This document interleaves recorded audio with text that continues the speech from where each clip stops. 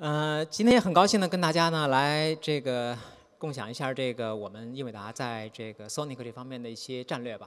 首先呢，呃，刚才熊总也提到了，就是说，呃，英伟达 Melanox 呢，它当年在这个呃 Sonic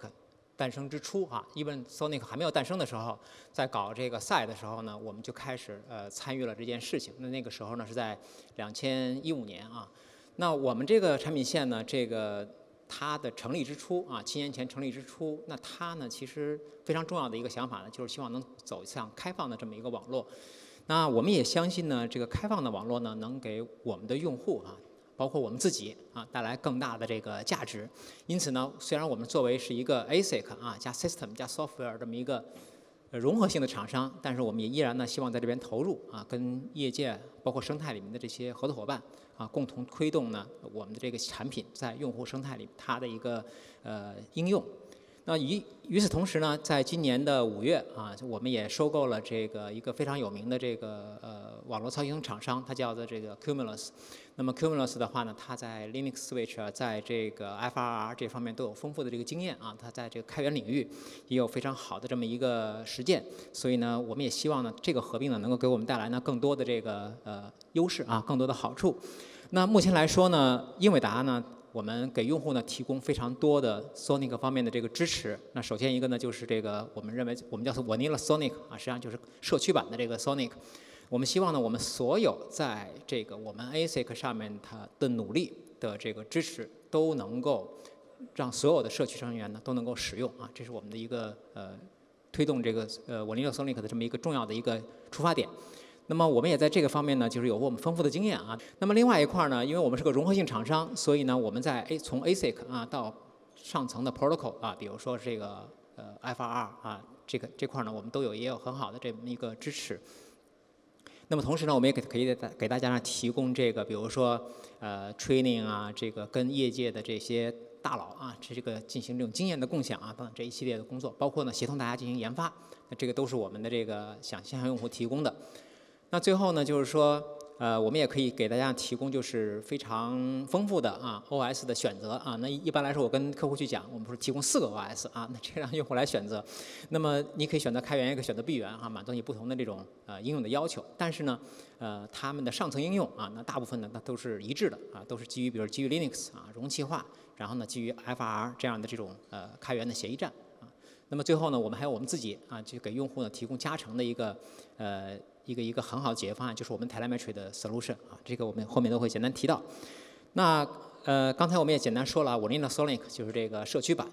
嗯，其实呢，呃，大家也都清楚啊，今天坐在这儿，很多人都已经实操过这个呃 Sonic。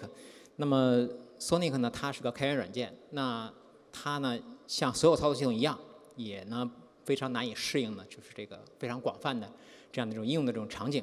那因此呢，有很多人呢，这个他就想呢去搞一些这个呃所谓叫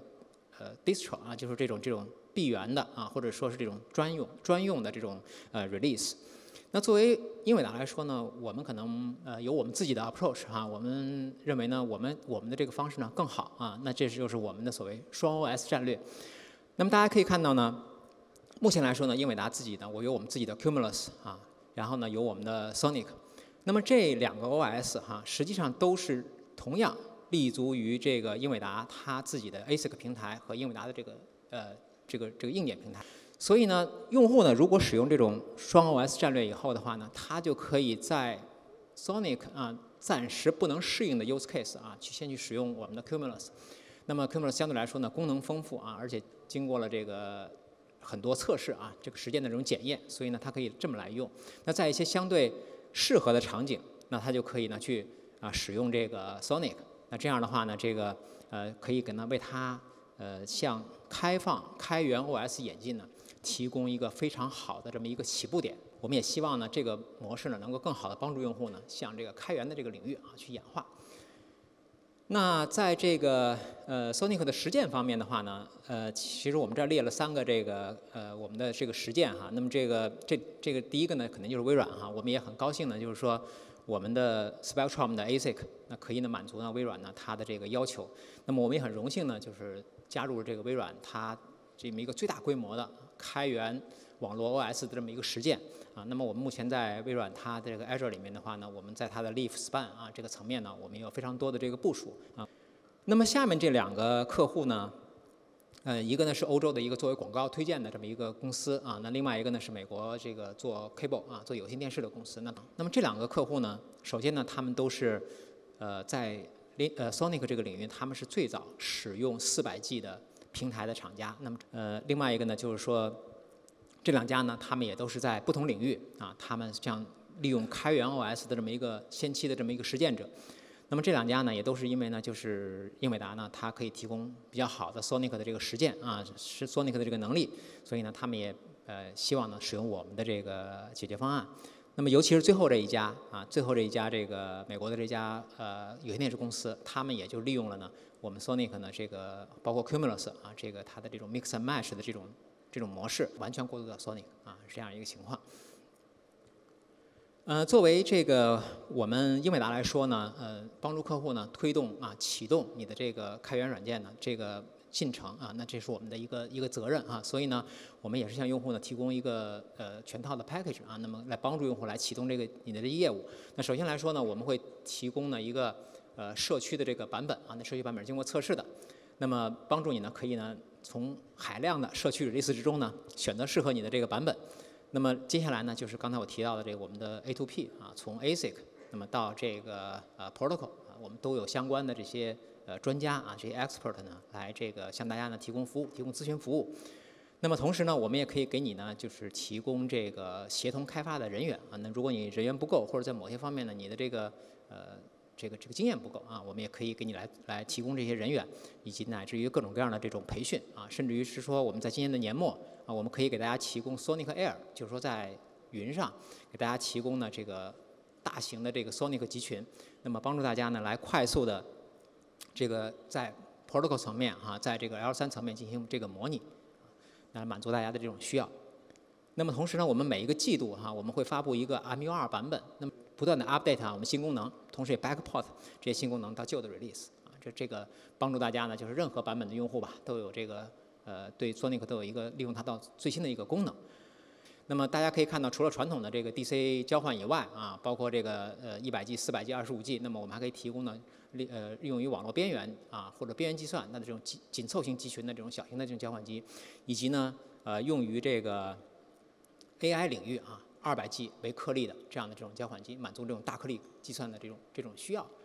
那这个图呢，实际上是我们呃英伟达呢，它在过去啊对 Sonic 社区的一些贡献哈。那么我们希望这个绿色越来越多，那当然我们也希望这张图越来越大啊。那么呢，这就意味着呢，我们整个这个社区哈，包括这个功能啊，可以可以越来越扩展，满足更多的 use case 方面的这种要求。嗯，FR 啊，呃，FR 呢适用于非常多的啊，就这种。呃，无论是开源软件也好啊，还是说是其他的这种呃 NOS 的这种实践，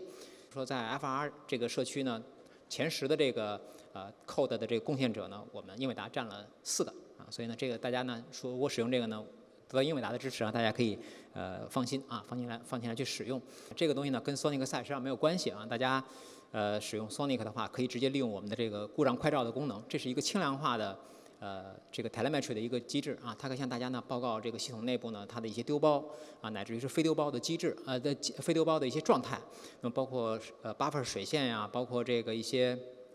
呃各种各样，比如时延时延超限啊等等这样的一些情况。那么呢，满足大家呢 troubleshooting 啊，包括像一些量化的对这个系统内部进行呃观测的这么一些需求啊。这个呢呃可能也是非常多的用户呢，他非常。呃，乐意呢看到这样的功能。那么这个呢，我们已经目前已经集成进了 Sonic，并且在 Sonic 里面呢，我们集成了 Sonic 的这个 CLI 啊。大家如果在本机 CLI 就可以直接看啊。那么也可以呢，呃，构造外部的这种系统啊，通过一些开源软件呢，去呃去这个进一步的去使用啊，收集这些数据进行集中化的这种这种统计看。